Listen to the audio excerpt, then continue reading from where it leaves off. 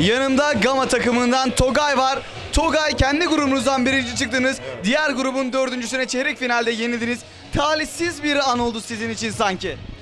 Oyuna iyi başlayamadık. Adam dağılımını e, ilk 2-3 dakika içerisinde çok iyi yapamadık. E, bunun sonucunda da aynı adamdan 4 tane üçlük yedik. E, yani çok sürpriz bir sonuç bence. Diğer takımlar da e, şaşıracaktır diye düşünüyorum ama tebrik ediyorum kendilerini. Hani yanlış anlaşılmasın. E, sadece %90'a yakın bir isabetle atan her takım kazanır.